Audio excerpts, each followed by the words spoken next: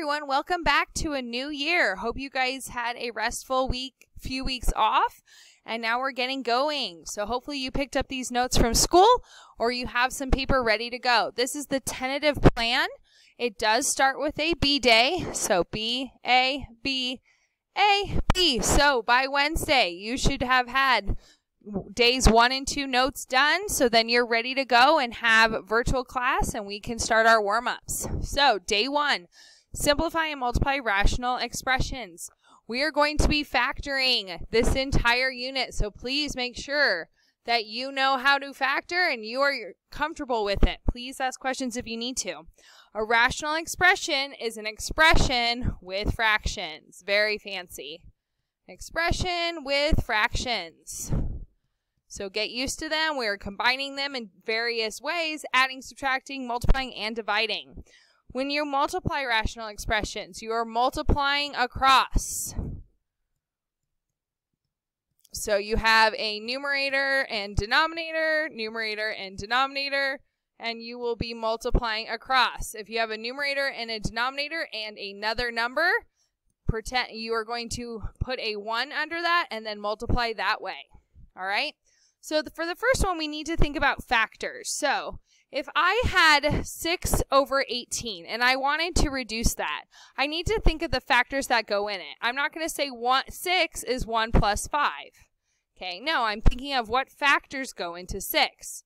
So factors that go into 6 are 2 and 3. And then what goes into 18? Well, we could say 2, 3, and another 3. And then we could take away the factors that are the same, and this could become 1 third.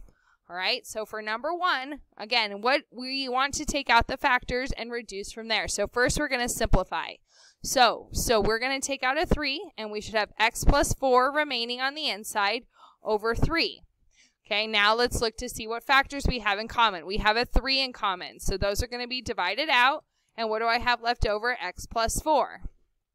Okay, all right, for number two.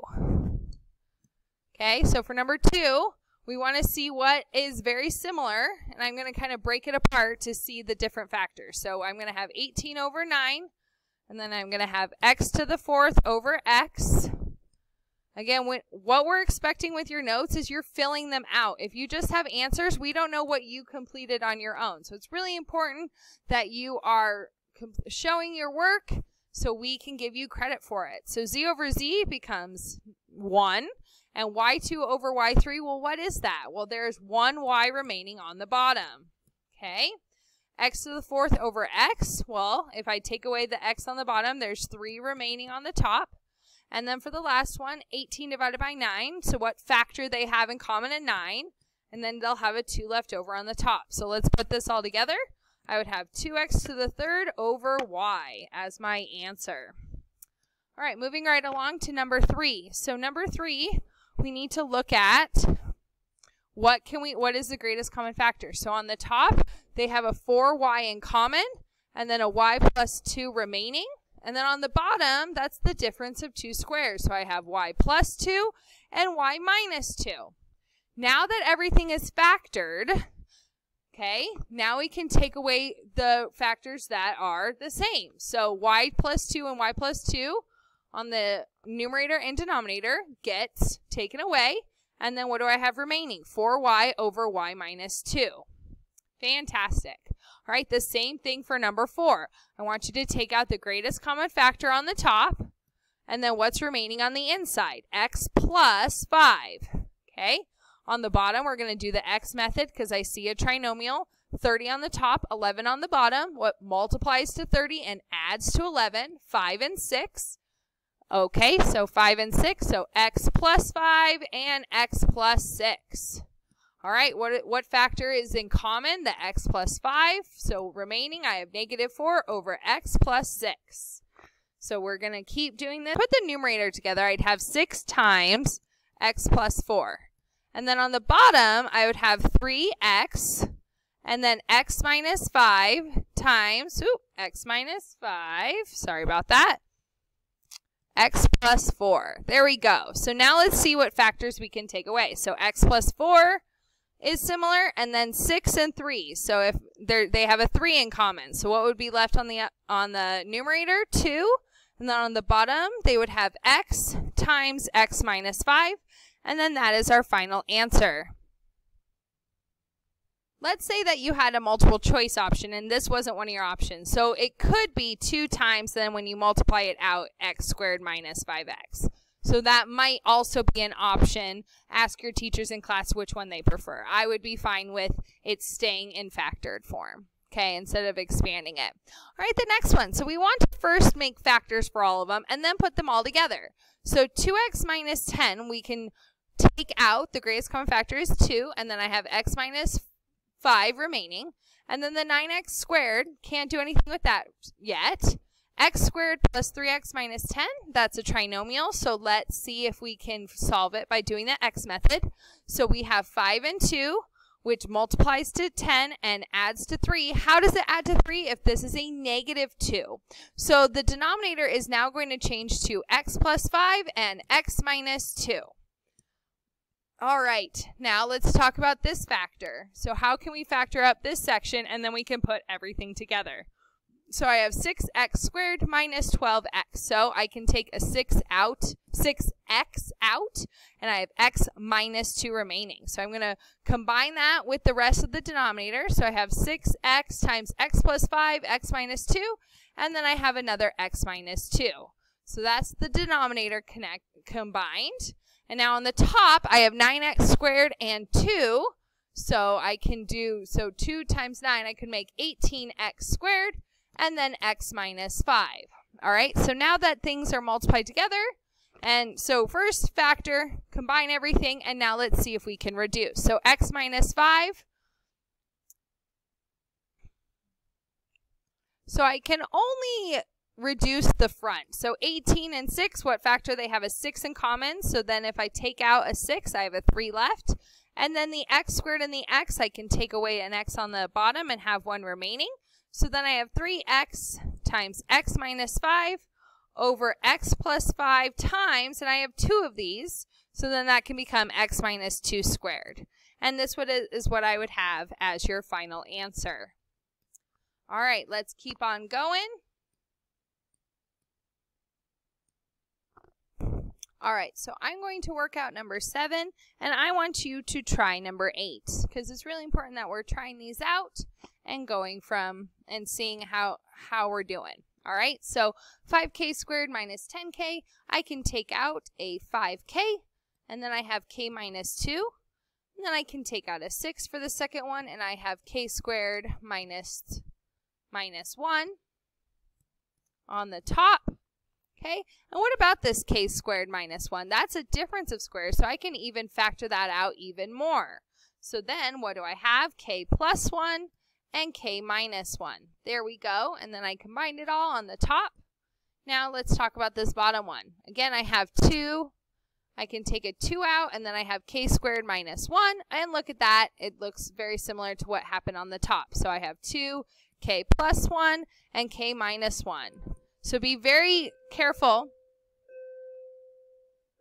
Be ca very careful when you're doing the difference of squares. Look for those. Look for the trinomials. Look for the greatest common factors. Reduce these the best you can. So if I take a 15 out of this one, then I have k minus 2 left over on there. So then I have 15 and k minus 2.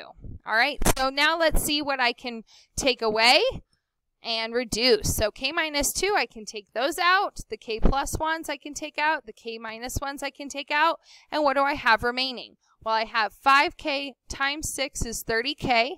And then on the bottom, I have 2 times 15, which is 30. So after all of that, reducing, taking the 30s out, those are the same factor.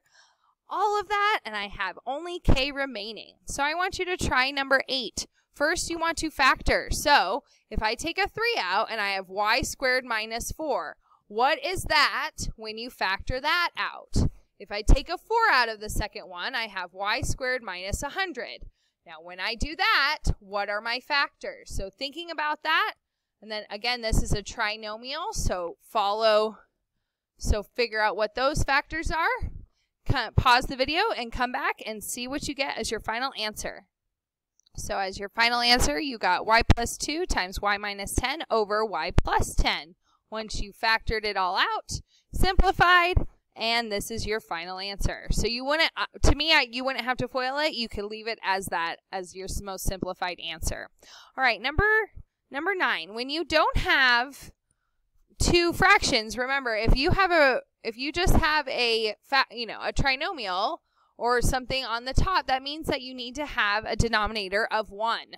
Then you can multiply across. So I have x minus 4 over x to the third plus 1. Well, that is a sum of cubes. So you need to re remind yourself about finding the sum of cubes. So what does that mean? x squared plus 1.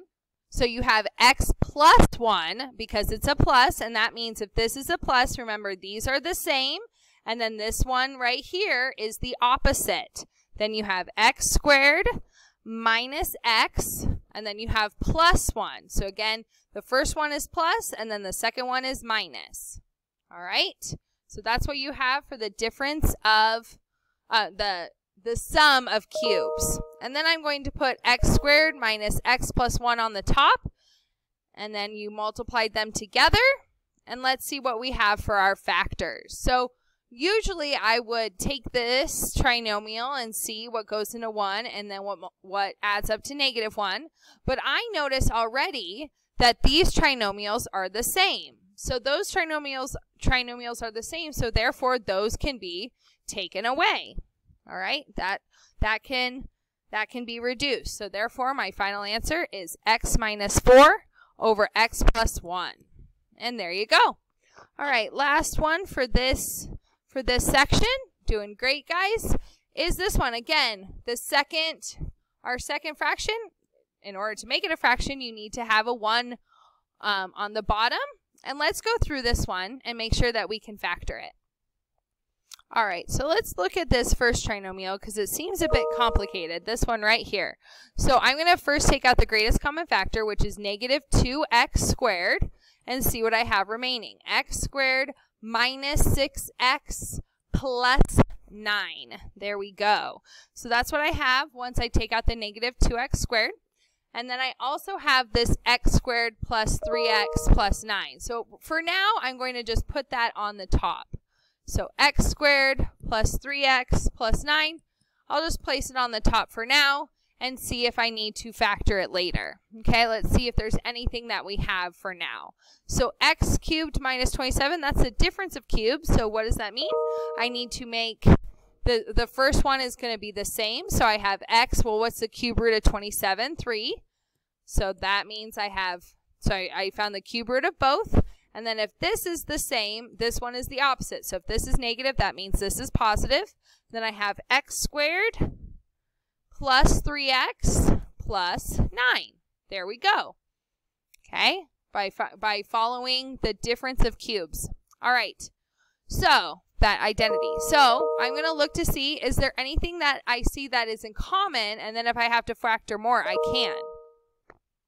All right, sorry about all the dings if you hear them. My computer is getting lots of notifications. So x squared plus 3x plus 9, and then I have x squared plus 3x plus 9. Ta-da! So those can be reduced. From here, let's see if I can make this trinomial smaller and make more factors, okay? So there's not more than one way to do this. What I like to do is if I see more than one trinomial, I'm going to see if I can take those out right now and then go from there. So, and then I have 9 and negative 6, so that means I have a negative 3 and a negative 3. They're both negative to make a positive 9. They're both negative to add to negative 6. So, again, I have negative 2x squared on the outside. My factors are x minus 3 times x minus 3. My remaining denominator is x minus 3 once I took away this trinomial okay? And that means I could take away another factor of x minus 3. So final answer, negative 2x squared times x minus 3. There we go. So when simplifying, make sure you are factoring the best you can and then take away the same factors that are in the numerator and denominator and simplify the best you can. Take your time with your homework and ask questions. Have a great day.